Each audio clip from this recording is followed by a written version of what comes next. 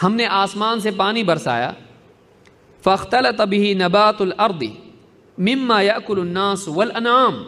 तो जब पानी ज़मीन पे बरसा, यहाँ से अनाज उगा फल उगे जानवरों के लिए घास उगी इंसान और चौपाए जो खाते हैं, वो सारा उसमें से इनमें से।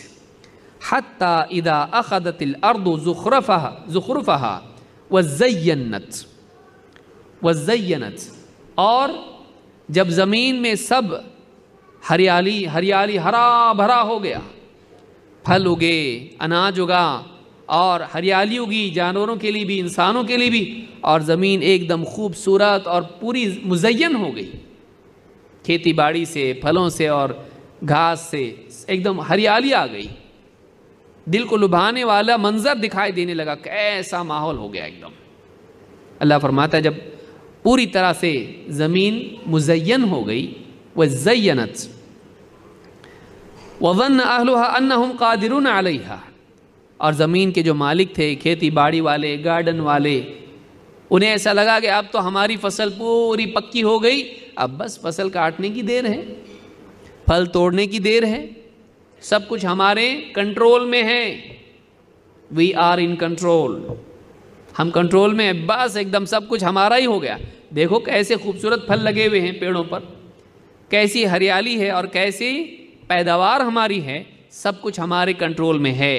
अन्नहुम कादिरुन अलैहा, अताहा अमरुना लैलन औ नहारन।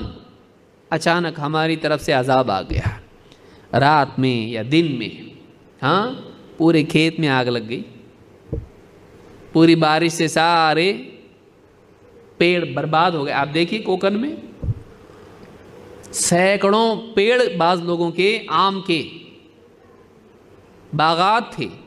ऐसी आंधी और ऐसी हवा आई कि वो सारे बागात क्या हो गई? सारे पेड़ उखड़ गए। सब तबाह। कितने इलाके ऐसे हैं? आप देखिए। पैदावार अच्छी खासी फ़सलें हैं। लंबे दूर दूर तक खेत है। ऑस्ट्रेलिया देखिए। ऐसी आग के सब ख़त्म। हमारा हुक्म आया रात में आया या दिन में आया, वो सारी फ़सल, वो सारे खेत, वो सारे बागात, वो सब कुछ क्या हो गया? तबाह हो गया। रातों रात, दिन के दिन में तबाह हो गया। फजालना हसीदन का अल्लम तगन सब का सब हमने क्या कर दिया? काट के एकदम ख़त्म। पूरी ज़मीन एकदम क्या हो गई? फ़सलें सब ख़त्म हो गई। ऐसे, जैसे कल था ही नहीं कुछ यहाँ पर। जैसे कल कुछ था ही नहीं यहाँ पर। कदालिका नफ़सिलआयात कौमी तफ़क्रून हम बस ऐसी मिसालें बयान करते हैं, ऐसी अपनी आयात को वाज करते हैं, ताकि लोग गौर करें। हम अपनी आँखों से देखते हैं दुनिया में, कितने मुल्कों में, कितने इलाक़ों में, सब कुछ ठीक ठाक होता है। अचानक सैलाब आता है, अचानक आंधी तूफ़ान आता है, अचानक जलजला आता है, अचानक आग लग जाती है, और लोगों की ज़िंदगियाँ ख़त्म हो जाती हैं। प्रॉपर्टीज़ जल के राख हो जाती है। बड़ी बड़ी कंपनी के मालिक होते हैं, सब जल के ख़त्म हो जाता है। कल करोड़पति था, आज रास्ते पे आदमी आ जाता है। ये ऐसी ज़िंदगी है, ये ऐसी दुनिया है, यहाँ की चीज़ों का ये हाल है। आज है, कल नहीं है। आज है, कल नहीं है।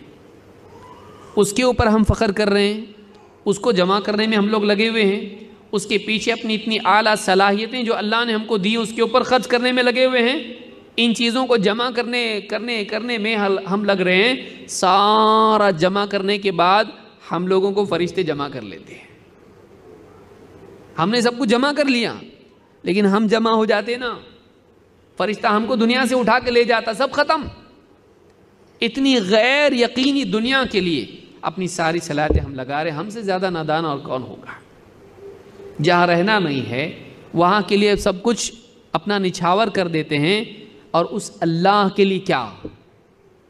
उस आखिरत के लिए क्या, जहाँ हमेशा रहना है? उस अल्लाह के लिए हम क्या करते हैं, जो सारी चीज़ों का मालिक है, दुनिया का भी और आखिरत का भी है। जो दे तो कोई रोक नहीं सकता है, और जो रोक ले तो कोई दे नहीं सकता है। उस अल्लाह के लिए हमारी ज़िंदगी का कितना हिस्सा है? उस अल्लाह के लिए हमारी ज़िंदगी का कितना हिस्सा है?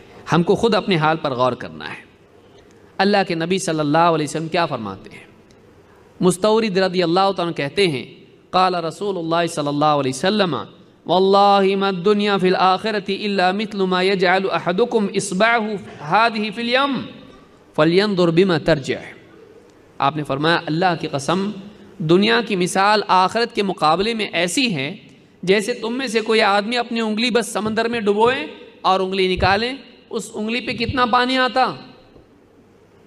फलियंजुर बिमा यरजिह देखे कि उसकी उंगली पानी में, समंदर में डुबोने के बाद कितने पानी के साथ बाहर आई? इतनी दुनिया की ज़िंदगी की मिसाल है।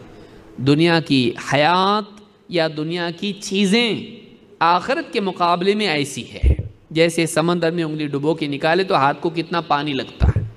क्या है हैसियत उस पानी की? और समंदर कितना बड़ा है? वो ज़िंदगी कितनी बड़ी है और उसकी आखरत की नेमतें कितनी ज़्यादा हैं, दुनिया की कितनी कम है उसके मुकाबले में। हकीर है, कुछ हैसियत उसकी नहीं है। इस हदीस को इमाम मुस्लिम ने रिवायत किया है। तो आखरत के मुकाबले में दुनिया इतनी हकीर और इतनी कम है, आखरत इतनी ज़्यादा है।